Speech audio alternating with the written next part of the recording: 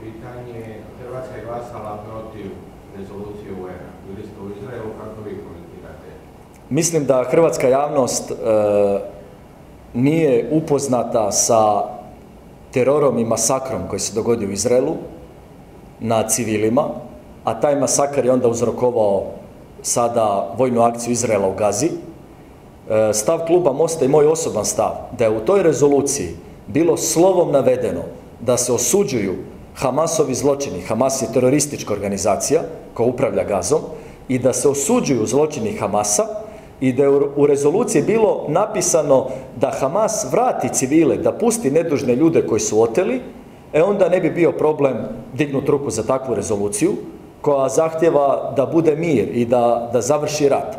Ali u ovoj dimenziji gdje se ne spominju ni teroristi, ni zločini nad Izraelcima, gdje se ne spominje ni vraćanje civila, dakle, mi bi bili suzdržani svakako. Svakako bi bili barem suzdržani.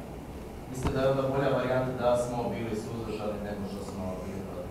Pa, na primjer, da sam ja bio tamo i da sam ja glasao, ja bi bio suzdržan. Ja bi bio suzdržan.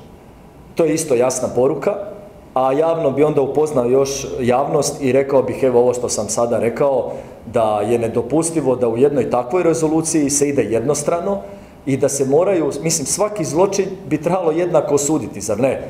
I nisu e, palestinska djeca manje vrijedna od izraelske djece.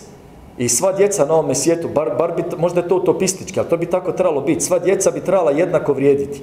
A ne, dakle, na jedne žrtve ćemo zatvoriti oči, a onda na druge će, ne znam, cijeli svijet se senzibilirati. Meni to nije pošteno, to nije pravedno.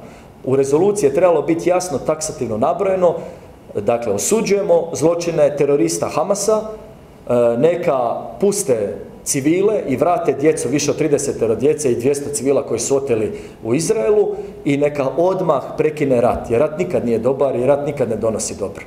A ovako ovo što je tamo, to je bilo jednostrano.